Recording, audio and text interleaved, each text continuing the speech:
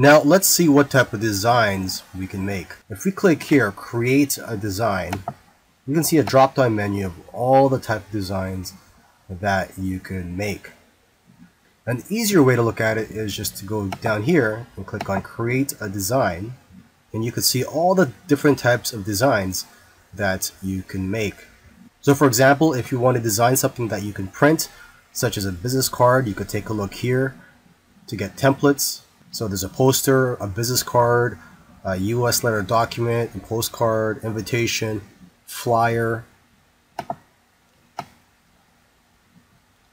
For social media, you have Instagram posts, Instagram story, Facebook post, Facebook story, Facebook cover,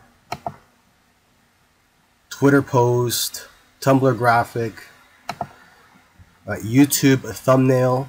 And a YouTube thumbnail is very important because it plays a big factor in driving traffic to your videos. Pinterest graphic, a SoundCloud banner, Twitch banner, and there's many more. Now for documents, you can create presentations, A4 documents, letters, resumes, reports, daily report, memo, invoice.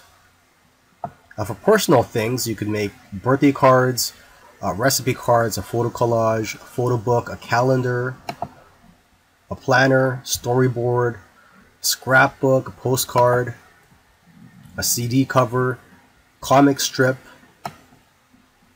For education, you can make a yearbook, class schedule, worksheets, report card, bookmark, table of contents, a mind map.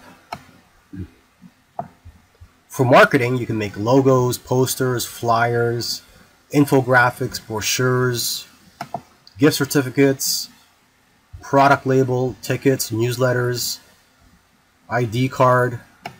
Now for events, you'll have templates for uh, birthday invitations, wedding invitations, announcements, event programs, announcements, and the Facebook event cover.